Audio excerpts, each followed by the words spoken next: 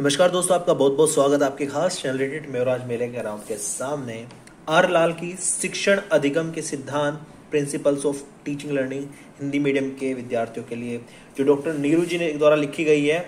अच्छा ये पुस्तक आपके किस किस फ़ील्ड में काम आती है? अगर आप डी कर रहे हो, अगर आप बी का कर रहे हो, अगर आप बी कर रहे हो, ठीक है ना?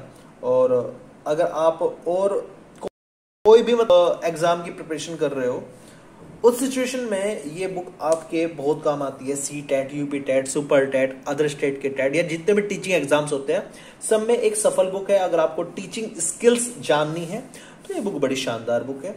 बात कर लेते हैं इसके प्राइस टैग की तो इसलिए आपको आ, मार्केट में एक सौ पच्चीस पर देखने को मिलती है।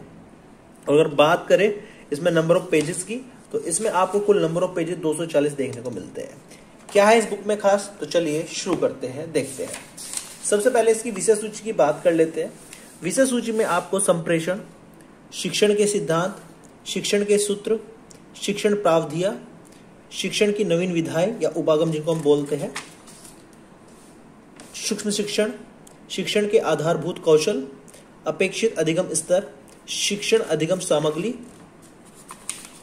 शिक्षण अधिगम सामग्री के प्रकार शिक्षण अधिगम सामग्री के निर्माण, प्रयोग एवं रखरखाव में सावधानियाँ तो ये टॉपिक्स इसमें कवर होते हैं, ये चैप्टर्स में कवर होते हैं। इनके अंदर क्या टॉपिक्स है, वो बताने लोगों।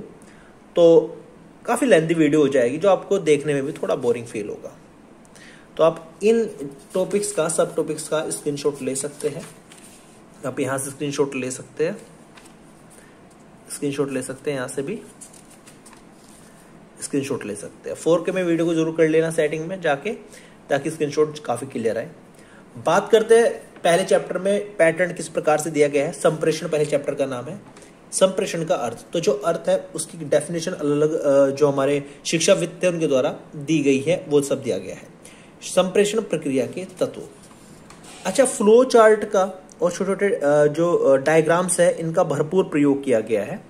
ताकि आप किसी भी टॉपिक को समझने वाले, उनके फ्लो को समझने के लिए कोई भी आपके अंदर दुविधा पैदा ना हो, आप इजीली किसी भी टॉपिक को समझ सके।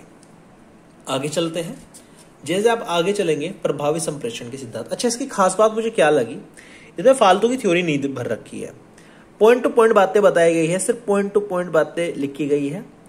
तो आपको ऐसे तो बिल्कुल नहीं लगेगा जैसे मैंने बाल विकास का जब रिव्यू कर रहा था बुक का। सेम वही पैटर्न है, आपको ऐसा लगेगा, आप हैंड रिटन नोट्स पढ़ रहे हो। आपको फालतू दिमाग लड़ने की आवश्यकता नहीं है या किसी अदर बुक को रिकमेंडेड करने की आवश्यकता नहीं है। आप इस बुक को पढ़ के अपने बेसिक्स क्लियर कर सकते हैं। करना ये है, किसी भी टीचिंग एग्ज़ाम की प्रिपरेशन करने से पहले पहले आपको इसके बेसिक्स को समझना पड़ेगा इन बुक की हेल्प से। उसके बाद आप प्रीवियस ईयर में आए हुए कॉम्पिटेटिव एग्ज़ाम से क्वेश्चन को प्रैक्टिस कर सकते हैं। जिससे आप इजीली किसी भी एग्ज़ाम को क्रैक कर सकते हैं। तो आप देख सकते हैं पैटर्न दिया गया है। यहाँ पर फ्लो चार्ट का भरपूर प्रयोग किया गया है।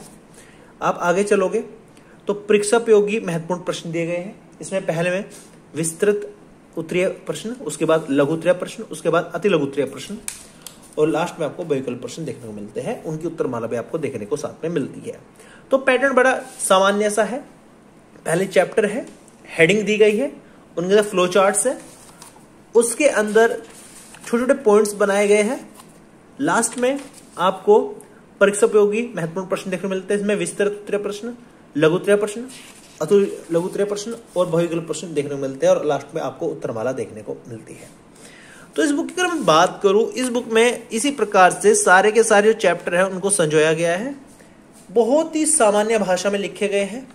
आप डायरेक्ट पढ़ सकते हैं। हैंड रिटन नोट्स बनाने की कोई आवश्यकता नहीं है। पॉइंट टू पॉइंट जाकर आप चीज़ों को देख सकते हैं कि कैसे कौन सी चीज़ कहाँ पर आ रही है। पूरी बुक में सेम पैटर्न को इस्तेमाल किया गया है। तो ये था एक छोटा सा रिव्यू शिक्षण अधिगम के सिद्धांत बुक का।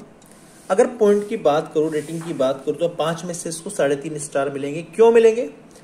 इसमें नंबर ऑफ़ ऑब्जेक्टिव क्वेश्चंस काफ़ी कम है। इसमें नंबर ऑफ़ ऑब्जेक्टिव क्वेश्चन बढ़ा सकते थे। हमें अलग अलग क्वेश्चन बैंक की आवश्यकता पड़ेगी, अगर हम बीटीसी कर रहे हैं, राजन के, पवन के, जो क्वेश्चन बैंक की आवश्यकता पड़ेगी, सिर्फ़ इसलिए क्योंकि उसमें ऑब्जेक्टिव क्वेश्चन ज़्यादा है, फिर डायरेक्टली एग्ज़ाम्स में आते हैं। इसमें इतनी ज़्यादा तादाद नहीं है।